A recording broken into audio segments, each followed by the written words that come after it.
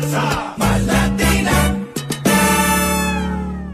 Hello YouTube, Punk Rock in here. Uh, another video today. Uh, we're having uh, another pepper. This is uh, the rocoto pepper from Peru. Little bit special on this pepper because uh, we don't really know the heat information for sure it says from very low to very hot so I don't know what guess to take on that.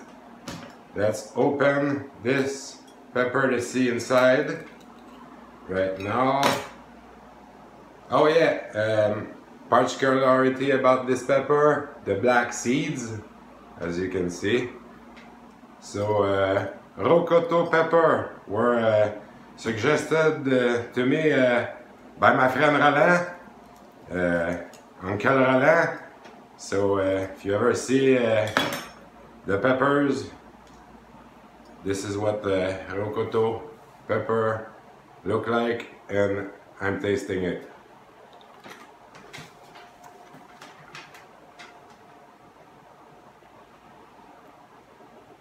Very strange taste and very thick and different meat from any other pepper that I ever had.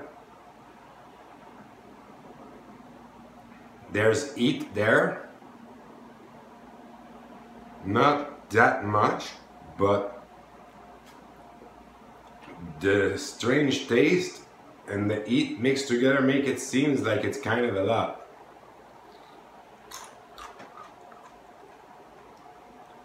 Yeah, like this is hotter than a normal Cayenne, so I don't know where we stand,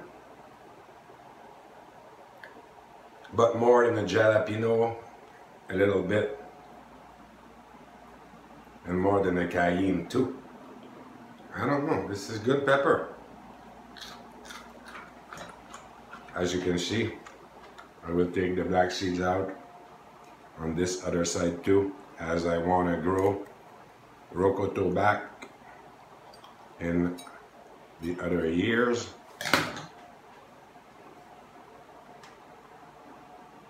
Mm-hmm.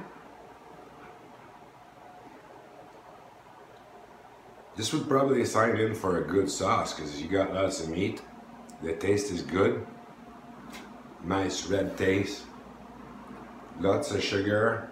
The heat is like perfect for me. I'd say like this pepper is so great for the heat because this is the heat that is not overpowering so that you're uncomfortable, but this is the heat that you can detect enough that you're happy with it. So perfect pepper for real. This. Very good. Mm. So, mm -hmm. this was a rocoto pepper from Peru.